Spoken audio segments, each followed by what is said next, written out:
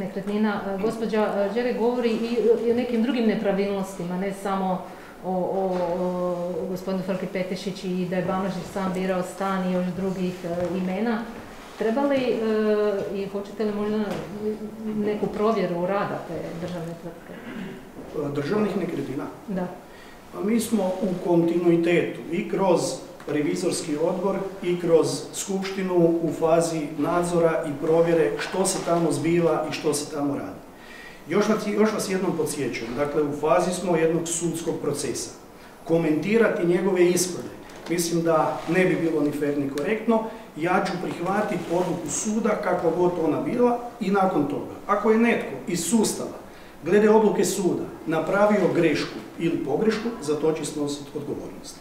Ako je greška na gospođi Đerek i to utvrdi sud, ja se nadam da će i mediji, odnosno da će i građani Republike Hrvatske znati epilog jedne, epilog jedne takve sudske presude i opet velim, zašto ta turbulencija upravo sada? Kreće saslušanje svjedoka, kreće završna faza sudskog procesa i u prvoj polovici ove godine mi očekujemo i presudu. 100% vjerujete čelnicima te tvrtke?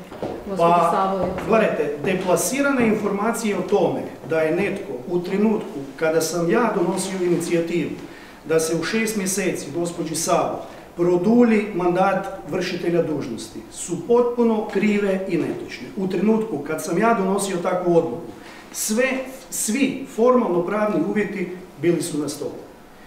Igrati se danas detektiva i provjeravati u 2017. godini zašto je netko kod koga je gospođa Sabo radila potvrdio i to potpisao da je ona tamo bila na rukovodećoj poziciji, mislim da ako već treba, da je to posao nekih drugih institucija. Što se tiče gospođe Sabo, rezultati njezinoga rada u zadnje tri godine su sve bolji i bolji i dobit trgovačkog društva koje je u 100% vlasništvu države koje upravlja poslovnim prostorima kao dobit na kraju proračunske godine iz godine u godinu sve veće i veće. To je normalna procedura da si neko od dužnosnika, ministar ili bilo ko drugi sam odabire stan koji će mu se dobiti? Jednog dana, kada recimo vi se odlučite baviti politikom i postanete dužnosnik, vi ćete dobiti neko zakonsko pravo.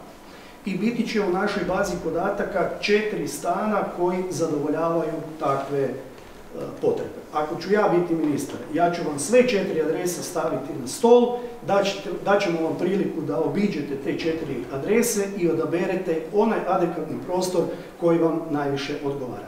Tako se postupilo i sa kolegom Frka Petešićom, tako se postupilo sa gospodinom Banožićem, ali priznat će vam to i oporbeni dužnosnici i u njihovo vrijeme tako se postupalo i sa njihovim pravima.